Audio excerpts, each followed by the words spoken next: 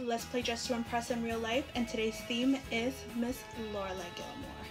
Because I know you guys felt that cold freeze this morning. Also, I'm wearing a waist trainer, so good luck finding my waist after this video. So I'm to try to recreate this outfit right here, and I have a few pieces in mind, so let's get started. So I don't have a lot of brown skirts, but luckily I have bought this leather brown skirt from H&M, and I think, I think this is the one. I think it could work. The different shade of brown, or orangey, but whatever.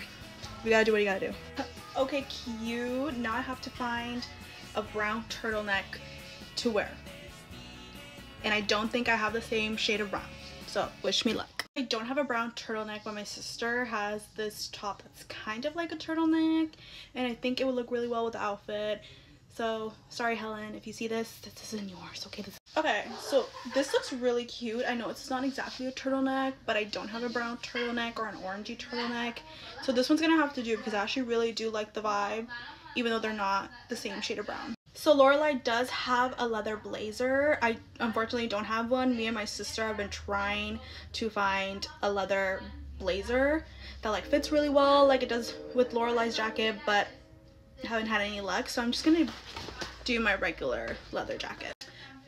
It looks cute. It is a bit baggy though. Like it doesn't look like how it looks in the picture and, like her outfit but it's leather. So we're gonna have to look past that you guys please.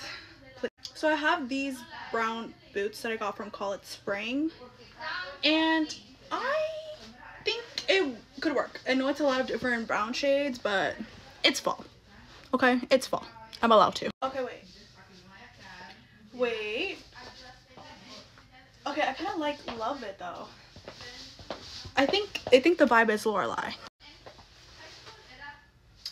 Yeah, I know the baggy kind of leather skirt isn't like the vibe vibe, but I really love the outfit though.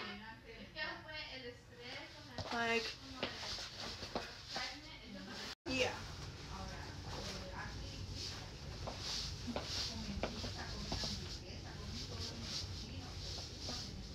This yeah. the only problem that I feel like was the jacket but honestly I love the outfit itself. It doesn't look exactly like her but it gives the same vibe and that's really all that matters.